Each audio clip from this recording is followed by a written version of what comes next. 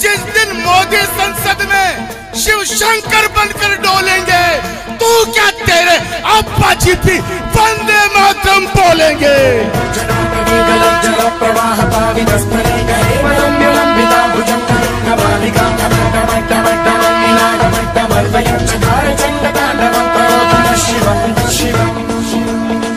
और अब वो पंक्तियाँ सुना रहा हूँ, जिसके लिए मुझे जाना जाता है।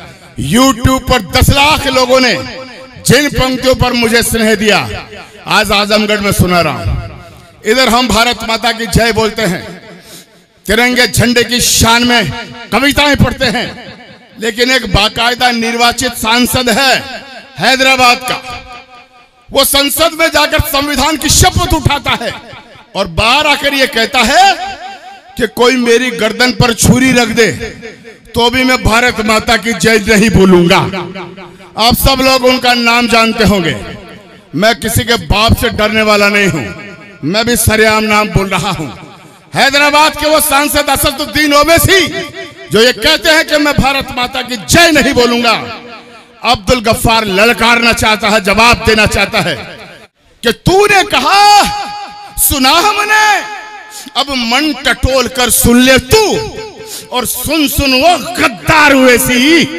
कान खोल कर सुन ले तू। और अब जितना भी आक्रोश हो मेरे आजमगढ़ के भाइयों मीडिया देख रहा है पूरा विश्व सुन रहा है अपने आक्रोश की तालियाँ चार पंक्तियों में लौटाना हाँ गफ्फार भाई।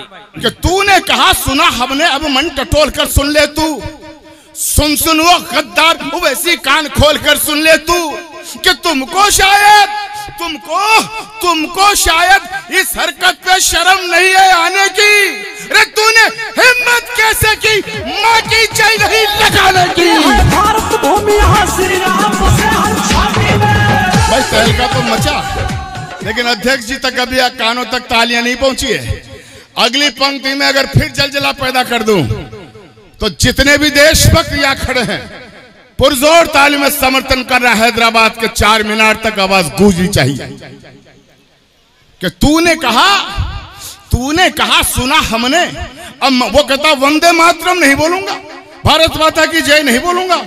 मैं जवाब देना चाहता हूँ कि तूने कहा, सुना हमने। अब मन टटोल कर सुन ले तू। सुन सुन वो गद्दार ओवैसी। कान खोल कर सुन ले तू। तुमको शायद इस हरकत पे शर्म नहीं है आने की। अरे तूने हिम्मत कैसे की? माँ की जय नहीं लगाने की।